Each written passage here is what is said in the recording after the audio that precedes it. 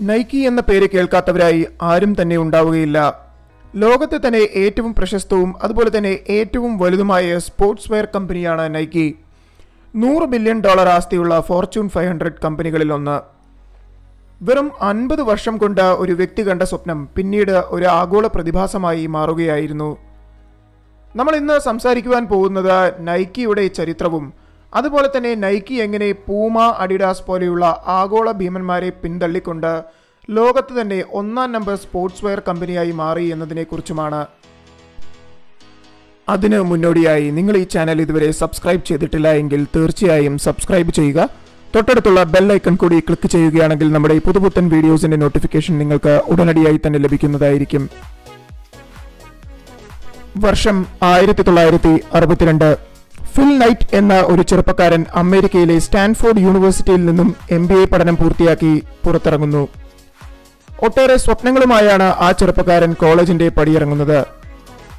മറ്റുള്ള തന്റെ സഹപാഠികളെ പോലെ ഏതെങ്കിലും ഒരു കമ്പനിയിൽ ഒരു സാധാരണ ജോലി ചെയ്ത് ജീവിതം തള്ളി നീക്കുവാൻ ഫിൽ നൈറ്റിന് താല്പര്യമുണ്ടായിരുന്നില്ല എന്തെങ്കിലും വ്യത്യസ്തമായി ചെയ്യണം എന്ന് തന്നെയായിരുന്നു ഫില്ലിന്റെ സ്വപ്നം.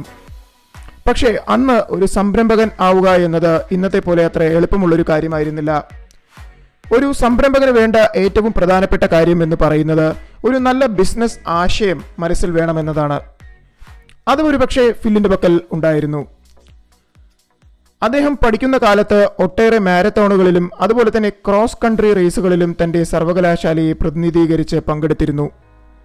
അതുപോലെ തന്നെ അദ്ദേഹത്തിന്റെ അവസാന വർഷ തീസിസ് എന്ന് പറയുന്നത് എങ്ങനെ ജാപ്പനീസ് ക്യാമറകൾ ജർമ്മൻ നിർമ്മിത ക്യാമറകളെ ആഗോള വിൽപ്പനയിൽ പിന്തള്ളി മുന്നോട്ട് വന്നു എന്നതായിരുന്നു.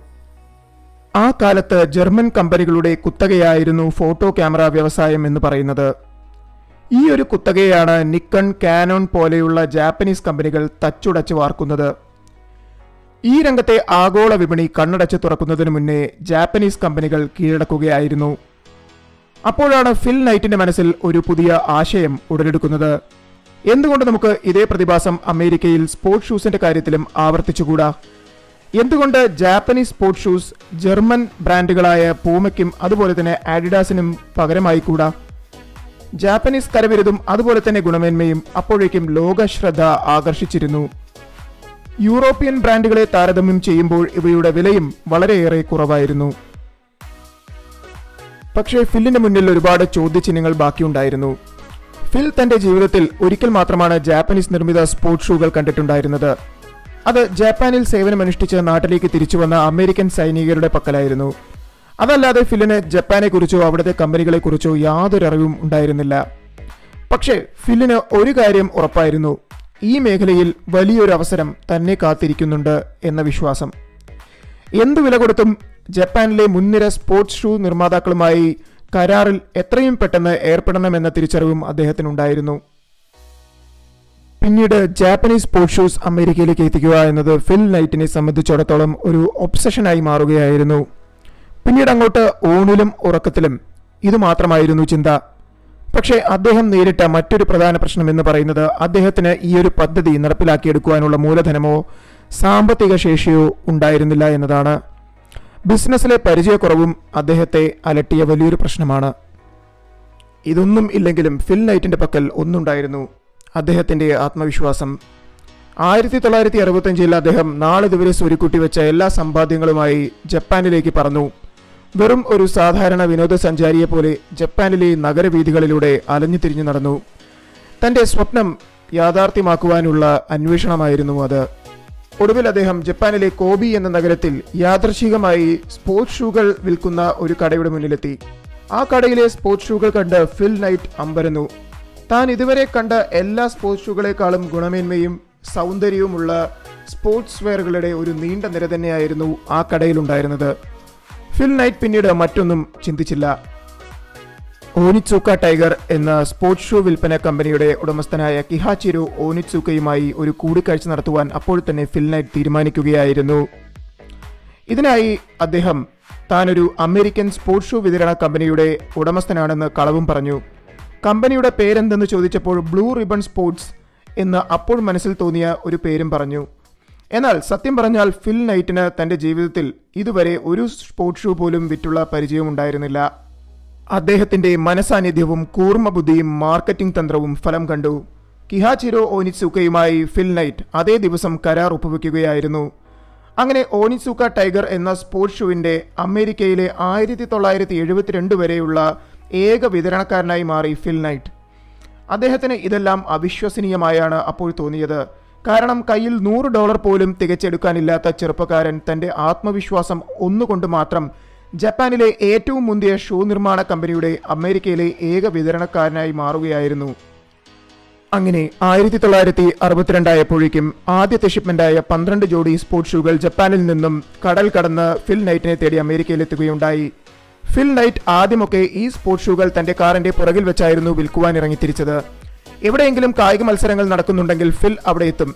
എന്നിട്ട് തന്റെ കാറിന്റെ പുറകിൽ ഓനിസൂക്ക ടൈഗറിന്റെ സ്പോർട്സ് ഷൂകൾ കാഴ്ചയ്ക്കായി വെക്കുമായിരുന്നു. പിന്നീട് തന്റെ മുന്നിലൂടെ നടന്നു പോകുന്ന കായിക താരങ്ങളോട് ഷൂസ് ഒന്ന് ധരിച്ചു നോക്കുവാനും ഒന്ന് പരീക്ഷിച്ചു നോക്കുവാനും അഭ്യർത്ഥിക്കുമായിരുന്നു. ഈ ഒരു തന്ത്രം ഫലം കാണാതെ വന്നപ്പോൾ ഫിൽ തന്റെ യൂണിവേഴ്സിറ്റി കോച്ചായ ബിൽ ബോർമാന്റെ പക്കൽ ചെല്ലുകയായിരുന്നു. ബിൽ ബോർമാൻ ആകട്ടെ അക്കാലത്ത് അമേരിക്കയിലെ ഏറ്റവും മികച്ച അത്ലറ്റിക് കോച്ചുകളിൽ ഒരാളായിരുന്നു അറിയപ്പെട്ടിരുന്നത്. അദ്ദേഹത്തിന് ഏതാണ്ട് മുപ്പത്തിയൊന്ന് ഒളിമ്പിക്സ് കായിക താരങ്ങളെ പരിശീലിപ്പിച്ചുള്ള പരിചയസമ്പന്നതയും ഉണ്ടായിരുന്നു ബിൽ ബോർമാൻ ടൈഗർ ഷൂസ് പരീക്ഷിച്ചു. അത്ഭുതമെന്ന് പറയട്ടെ അദ്ദേഹം ഫിൽ നൈറ്റിന്റെ ബിസിനസ് പങ്കാളിയാവുവാൻ അതേ നിമിഷം തീരുമാനിക്കുകയായിരുന്നു. അങ്ങനെ ജാനുവരി ആയിരത്തി തൊള്ളായിരത്തി അറുപത്തിനാലിൽ ഫിൽ നൈറ്റും ബിൽ ബോർമാനും ഒത്തുചേർന്നുകൊണ്ട് ബ്ലൂ റിബൺ സ്പോർട്സ് എന്ന കമ്പനി ഔദ്യോഗികമായി ആരംഭിക്കുകയും ചെയ്തു.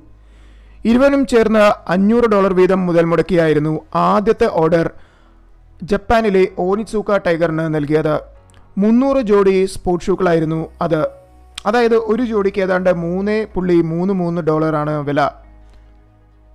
ആയിരത്തി തൊള്ളായിരത്തി അറുപത്തിനാല് ഏപ്രിലിൽ ജാപ്പനീസ് കമ്പനിക്ക് നൽകിയ ഓർഡർ പ്രകാരമുള്ള എല്ലാ ഷൂസും അമേരിക്കയിലേക്ക് എത്തുകയായിരുന്നു. എന്നാൽ ഇത് ജൂലൈ ആവുമ്പോഴേക്കും കമ്പനി വിറ്റഴിക്കുകയും ചെയ്തു. അങ്ങനെ ആദ്യ വർഷത്തിൽ തന്നെ ബ്ലൂ റിബൺ സ്പോർട്സ് എന്ന കമ്പനി ആയിരത്തി മുന്നൂറ് ജോഡി ഷൂസാണ് വിറ്റഴിച്ചത്. ഇതിൽ നിന്നും ഇവർ നാലായിരം ഡോളർ ലാഭവുമുണ്ടാക്കി. ഇതോടുകൂടി ഫിൽ ലൈറ്റ് തന്റെ ഷൂസ് വിൽക്കുവാനായി സെയിൽസ്മാൻമാരെ ജോലിക്ക് വെക്കേണ്ട അവസ്ഥയിലേക്കും എത്തി. ആയിരത്തി തൊള്ളായിരത്തി അറുപത്തിയഞ്ചിൽ ഇവർ ഇരുപതിനായിരം ഡോളറിന്റെ വിറ്റുവരവാണ് നടത്തിയത്. അങ്ങനെ ആയിരത്തി തൊള്ളായിരത്തി അറുപത്തിയാറിൽ ആദ്യത്തെ സ്റ്റോറും ബ്ലൂ റിബൺ സ്പോർട്സ് എന്ന് പറയുന്ന കമ്പനി അമേരിക്കയിലെ സാന്റാ മോണിക്കയിൽ ആരംഭിക്കുകയും ഉദ്ഘാടനം ചെയ്യുകയും ചെയ്തു. ബിസിനസ് കാര്യങ്ങളൊക്കെ ഫിൽ നൈറ്റ് ആയിരുന്നു ശ്രദ്ധിച്ചുകൊണ്ടിരുന്നത്. എന്നാൽ അപ്പോഴും ബിൽ ബോർമാൻ എന്ന് പറയുന്ന തന്റെ ബിസിനസ് പങ്കാളി ഓരോ സ്പോർട്സ് ഷൂവിന്റെയും രൂപഘടനയും അതുപോലെ തന്നെ ഓരോ സ്പോർട്സ് ഷൂവിനെയും എങ്ങനെ മെച്ചപ്പെടുത്താമെന്ന കാര്യങ്ങളിലുമായിരുന്നു ശ്രദ്ധ കേന്ദ്രീകരിച്ചിരുന്നത്. അങ്ങനെ ബ്ലൂ റിബൺ സ്പോർട്സിന്റെ ഏറ്റവും വിജയകരമായ മോഡലായ കോർട്ടസ് പുറത്തിറങ്ങുകയാണ് ഉണ്ടായത്. ആയിരത്തി തൊള്ളായിരത്തി അറുപത്തി എട്ടിലെ ഏറ്റവും കൂടുതൽ വിറ്റഴിക്കപ്പെട്ട സ്പോർട്സ് ഷൂ മോഡലുകളിൽ ഒന്നായി ബി ആർ എസിന്റെ കോർട്ടസ് ആയിരത്തി തൊള്ളായിരത്തി അറുപത്തി എട്ടിൽ മെക്സിക്കോ ഒളിമ്പിക്സ് കൂടി വന്നതോടുകൂടി ബി ആർ എസിന്റെ ആ വർഷത്തെ വിൽപ്പന എന്ന് പറയുന്നത് ഏതാണ്ട് മൂന്ന് ലക്ഷം യു എസ് ഡോളറായി ഉയരുകയായിരുന്നു. ഫിൽ നൈറ്റിന്റെ സ്വപ്നമായിരുന്നു ബ്ലൂ റിബൺ സ്പോർട്സ് എന്ന കമ്പനി. പക്ഷേ കമ്പനി അപ്പോഴേക്കും മറ്റൊരു തരത്തിലുള്ള പ്രതിസന്ധിയിൽ പെടുകയായിരുന്നു. ജപ്പാനിൽ നിന്നും സ്റ്റോക്ക് എത്തുന്നതിനേക്കാൾ വേഗത്തിലായിരുന്നു ബി ആർ എസ് സ്പോർട്സിന്റെ സ്പോർട്സ് ഷൂകൾ വിറ്റുപോയിക്കൊണ്ടിരുന്നത്. ആവശ്യക്കാരുടെ എണ്ണം ദിനംപ്രതി വലിയ രീതിയിൽ വർദ്ധിച്ചതുകൊണ്ട് ഫിൽ നൈറ്റിന് എന്ത് ചെയ്യണമെന്നറിയാതെയായി. കാരണം ജപ്പാനിൽ നിന്നും പുത്തൻ സ്റ്റോക്ക് വരുന്നത് ഉച്ചയെഴുന്ന വേഗത്തിലായിരുന്നു. അതോടുകൂടി ബി ആർ എസ് ഓനിസൂക്ക ടൈഗറുമായി കരാർ അവസാനിപ്പിക്കാൻ തീരുമാനിക്കുകയായിരുന്നു. അങ്ങനെ ആയിരത്തി തൊള്ളായിരത്തി എഴുപത്തിയൊന്നിൽ ഫിൽ നൈറ്റ് തന്റെ ബ്ലൂ റിബൺ സ്പോർട്സ് എന്ന കമ്പനിക്ക് പുതിയ രൂപവും ഭാവവും നൽകുവാൻ തീരുമാനിക്കുകയായിരുന്നു. അങ്ങനെയാണ് അദ്ദേഹം നൈക്കി എന്ന പേരിൽ എത്തിച്ചേർന്നത്. നൈക്കി വിജയത്തിന്റെ മൂർത്തിഭാവമായ ഗ്രീക്ക് ദേവതയുടെ പേരാണ്. അതിനുശേഷം ഫിലിന് മുന്നിലുണ്ടായിരുന്ന ഒരു വെല്ലുവിളി എന്ന് പറയുന്നത് നല്ലൊരു ലോഗോ ലഭിക്കുക എന്നതായിരുന്നു. അതിനായി അദ്ദേഹം പോർട്ട്ലാൻഡ് സ്റ്റേറ്റ് യൂണിവേഴ്സിറ്റിയിലെ ഗ്രാഫിക് ഡിസൈനിംഗ് വിദ്യാർത്ഥിനിയായ കാരലിൻ ഡേവിഡ്സനെ ചുമതലപ്പെടുത്തുകയും ചെയ്തു. കാരലിൻ ഡേവിഡ്സൺ ആകട്ടെ വളരെ ചുരുങ്ങിയ ചെലവിൽ അതായത് ഏതാണ്ട് മുപ്പത്തിയഞ്ച് ഡോളർ ചെലവിൽ അദ്ദേഹത്തിന് ഒരു കിടിലൻ ലോഗോയും ഡിസൈൻ ചെയ്ത് നൽകുകയുണ്ടായി.